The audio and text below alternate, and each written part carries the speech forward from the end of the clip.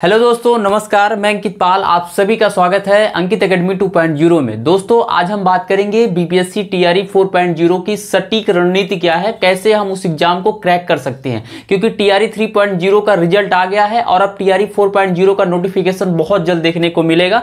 बहुत ज़्यादा संख्या में अब की बार बच्चे टीआरई 4.0 में अप्लाई करेंगे, क्योंकि अभी ये स्टेट क्वालिफाई हुए हैं बहुत सारे बच्चे और बहुत पहले से टीआरई 3.0 में फेल भी हुए हैं और उसके साथ साथ में बहुत ऐसे बच्चे हैं जो नए हैं और वहाँ पे टीआरई 4.0 की वैकेंसी को देखना चाहते हैं। इसलिए ये वीडियो आप सभी के लिए बेहतर, बहुत ज़्यादा इंपॉर्टेंट है और आप सभी को इसे देखना ज़रूरी है। डोंट स्किप इस वीडियो को और आप सभी जो है वीडियो के लास्ट तक देखिएगा। आपको हम सेवन स्ट्रेटजी बताएँगे, क्या है इसकी सटीक रणनीति, कैसे आप इस एग्ज़ाम को क्रैक कर सकते हैं, वो सारी चीज़ें आप यहाँ पे देखिएगा। बस चैनल पे नए चैनल को सब्सक्राइब करके बेलाइकन प्रेस कर दीजिए ताकि आप सभी के लिए ऐसी हेल्पफुल वीडियोज़ मिलती रहे। चलिए यहाँ पे स्टार्ट करते हैं, देखिएगा।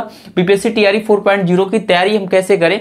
इसकी तैयारी भी आपकी बार जो अभी तक के एग्ज़ाम हुए हैं, उन सभी एग्जामों से ज़्यादा टफ होगा, क्योंकि पता है फ़र्स्ट और सेकेंड में जो है उसके साथ में जो थर्ड एग्ज़ाम्स हुए हैं, वहाँ पे जो भी कंपटीशन रहा होगा, उसकी अपेक्षा आपकी बार संख्या में बच्चे ज़्यादा हैं और उसके साथ साथ में जो है यहाँ पे उनके लिए ये बड़ी भर्ती भी होगी। अब देखिएगा, सबसे पहले हम यहाँ पे सेवन स्ट्रेटजी क्या क्या चीज़ों को फॉलो करना है। एक एक चीज़ों को हम समझाएँगे। आपको जल्दी से भागना नहीं है वीडियोज़ में। आपको लास्ट तक बने रहना है। देखिएगा, पहला पहला है अंडरस्टैंड द सिलेबस सबसे पहले सिलेबस को अंडरस्टैंड करना चाहिए। मोस्टली बच्चे सिलेबस को नहीं समझ पाते हैं सारे। बस ऐसे कॉमनली पढ़ लेते हैं कि हाँ हाँ ये ये चीज़ें हैं। उसको डिटेल में नहीं पढ़ते हैं। तो सबसे पहले अपने सिलेबस को आप डिटेल में पढ़िए, उन्हें समझिए। उसके बाद फिर जा के आपको जब सारे सिलेबस का ज्ञान होगा, तभी आप इस एग्ज़ाम के हर एक, जो भी टॉपिक्स हैं, हर एक टॉपिक को आप वहाँ पर उन्हें तैयार कर पाओगे। और नहीं तो फिर आपका होता क्या है लास्ट में वो बच्चे उस टॉपिक को छोड़ देते हैं, जो उनके लिए बेहद इंपॉर्टेंट होता है, जिनसे क्वेश्चन पूछे जाते हैं। इसलिए वहाँ पे वो मोस्टली बच्चे फेल हो जाते हैं। तो इसलिए आपको जो है सिलेबस को सबसे पहले अंडरस्टैंड करना है।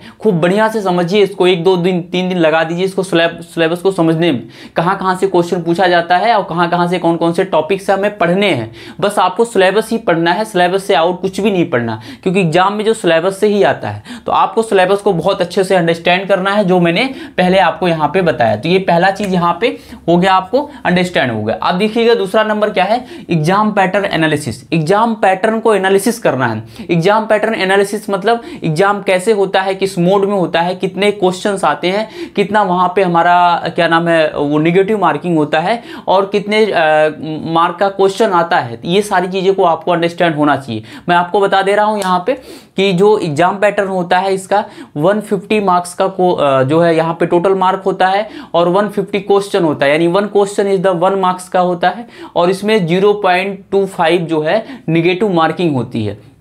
और उसके साथ साथ में यहाँ पे आपको ड्यूरेशन जो टाइम होता है उसका, वो ढाई घंटे का पेपर होता है। ढाई घंटे में पेपर आपको देना है। तो ये हो गया इसका एग्ज़ाम पैटर्न और आपको एग्ज़ाम पैटर्न को बहुत अच्छे से समझना है तो आपको समझ में आ गया होगा। चलिए, अब आगे हम बढ़ते हैं यहाँ पे, देखिएगा। नेक्स्ट, तीसरा नंबर है क्रिएटिंग ए स्टडी प्लान हमें एक क्रिएटिव मतलब वहाँ पर हमें क्रिएट करना है स्टडी प्लान करना है कि क्या क्या चीज़ें हमें पढ़ना है, कब कैसे पढ़ना है, किस टाइम पर पढ़ना है, क्या चीज़ों को पढ़ करके फिर किस टाइम पर उसे हमें रिविजन करना है। तो ये चीज़ें बहुत इंपॉर्टेंट इंपॉर्टेंट होती हैं तो आपको वहाँ पे वहाँ पे क्या करना है क्रिएट स्टडी प्लान क्रिएट करना है कि क्या क्या चीज़ें पढ़नी कौन सी चीज़ें पहले पढ़नी है कौन सी चीज़ें हमारे लिए इंपॉर्टेंट है, इन सब चीज़ों की आपको स्टडी प्लान बनानी है। तो आप अगर यहाँ पे ये बनाते हैं तो फिर आपको ये सफलता दिलाएगा आपके इस एग्ज़ाम में। अब देखिएगा, चौथा नंबर आपको यहाँ पे रिफरिंग ना referring to the quality study material referring to the quality study material ये देखिएगा, सबसे मोस्ट इंपॉर्टेंट होता है कि हमें जो है क्वालिटी स्टडी मटेरियल को हमें रिफरिंग करना है मतलब उसे हमें रेफर करना है। मतलब वहाँ पे आपको ऐसे ही मटेरियल को आप लो जो आपके लिए इंपॉर्टेंट हो, ना कि वैसे अनावश्यक चीज़ों को पढ़ें। अन्यथा हम तो बहुत सारी चीज़ों को पढ़ सकते हैं। तो जो क्वालिटी स्टडी मटेरियल है, उन्हीं को लें, जिससे हमें सफलता में हमारे वो हेल्प करे। तो ये चीज़ें आपको ध्यान देने की ज़रूरत है। तो आपको ये जो है क्रिएटिव स्टडी मटेरियल जो सॉरी यहाँ पे referring to quality study material को आपको लेने हैं और अच्छे से यहाँ पे इन्हें प्रिपेयर करना है। कैसे? ये हो गया चौथा नंबर हो गया। पांचवा नंबर है दोस्तों utilizing mock test and the online practice यहाँ पे यूटिलाइजिंग करना है mock test and online practice जो ऑनलाइन प्रैक्टिस है और उसके साथ साथ में मॉक टेस्ट है, इसे हमें भी सॉल्व करना है। ऐसा नहीं कि हमने पढ़ाई कर लिया, पूरा रिविजन हो गया, सारी चीज़ें हो गई। अगर हमने वहाँ पर टेस्ट नहीं दिया तो इसका मतलब कुछ नहीं किया आपने। टेस्ट देना बहुत ज़रूरी होता है कि हमें ये हमारे एग्ज़ाम का सैंपल पेपर होता है एक तरीके से।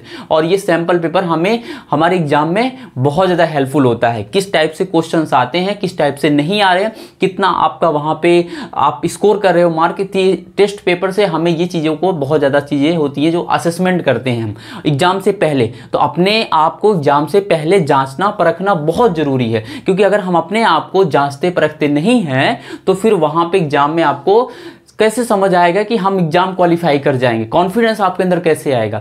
और कैसे अपनी कमियों को आप सुधार पाओगे? तो मार्क टेस्ट और उसके साथ साथ में यहाँ पे आपको जो है ये आ, टेस्ट बुक ये सारी चीज़ों को आपको सॉल्व करना है ठीक है? ऑनलाइन प्रैक्टिस जितना भी हो सके आप ऑनलाइन प्रैक्टिस और मार्क टेस्ट लगाइए। आगे चलते हैं यहाँ पर ये पाँचवा नंबर हो गया। छठे नंबर की बात करेंगे हम time management and the stress reduction देखिए मोस्टली बच्चे होते हैं टाइम मैनेजमेंट नहीं कर पाते हैं। बोलते सुबह पढ़ते, दोपहर शाम को पढ़े, रात में पढ़े, दिन में पढ़े, कब पढ़े, कैसे पढ़े? अपने टाइम को मैनेजमेंट करिए मैनेज करिए कि कैसे हमें सुबह मॉर्निंग में किस सब्जेक्ट को पढ़ना, दोपहर में किसको पढ़ना, शाम को कब पढ़ना, रात को कब पढ़ना, उन्हें आप मैनेज करिए और इस टाइम को अपने टाइम को जो है, उसी सब्जेक्ट के जो हैं आपके सब्जेक्ट उन सब्जेक्ट को शेड्यूल के पे बाँध दीजिए उनको। ठीक है? अपने एक प्लान बना लीजिए कि हमको इस सब्जेक्ट को इस टाइम पर पढ़ना अपने समय को जो है सब्जेक्ट के माध्यम से उसे बाँध दीजिए हमको इसी समय पे पढ़ना है। और अपने टाइम को ज़्यादा से ज़्यादा स्टडी पे दीजिए, बाकी चीज़ों को इग्नोर कर दीजिए। मोस्टली जो नहीं ऐसा लगता है, आपके लिए आवश्यक नहीं, उन्हें इग्नोर कर दीजिए।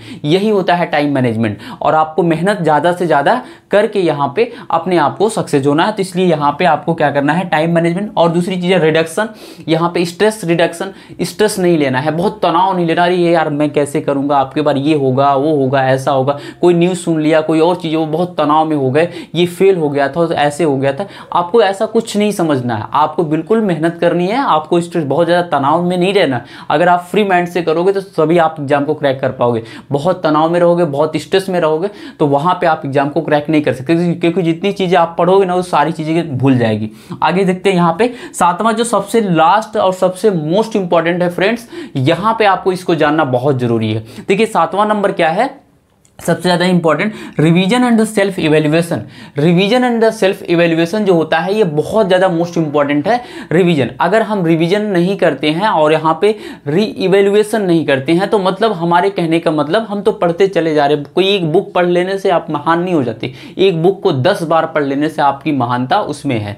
तो इसलिए आपको जो है, वहाँ पर बुक को जो भी चीज़ें पढ़ रहे हो ऑनलाइन या ऑफलाइन कहीं से भी कोई चीज़ें पढ़ रहे हो, आप उन्हें रिविजन तो श्योर करिए। रिविजन करिए। एक बार बार नहीं, बल्कि दस बार करिए रिवीजन ज़्यादा से ज़्यादा जितना रिवीजन करेंगे, जितनी प्रैक्टिस करेंगे और वहाँ पे अपना री एवेल्युएशन करेंगे कि मतलब हमारा कितना वहाँ पे मार्क्स आ रहा है, कितनी कितनी अच्छी चीज़ें हमारी तैयार हो गई हैं। अपना आपका असेसमेंट करोगे तो चीज़ें बेहतर होंगी। तो यही जाकर के आपको एग्ज़ाम में सफल दिलाएगा। तो ये जो है आपको जो मैंने सेवन ट्रिप्स बताया यहाँ पे, सेवन ये टिप्स जो मैंने बताया, इसे आपको अगर फॉलो करेंगे तो आप श्योर है कि बीपीएससी टीआरई 4.0 में आप वहाँ पे कर लेंगे। हम बहुत जल्द आप सभी के लिए एक वीडियोज़ लेके आते हैं, जिसमें बीपीएससी टीआरई का जो है एग्ज़ाम पैटर्न और वहाँ पर उसका सिलेबस क्या है, उसको हम डिटेल में क्लियर करेंगे। बस आप सभी को चैनल को सब्सक्राइब करके बेलाइकन प्रेस करना, ताकि आप सभी को वीडियो जैसी आए, आप सभी उस वीडियो को वॉच कर पाए। थैंक यू दोस्तों, फिर से मिलते हैं आप सभी से एक नए वीडियो में।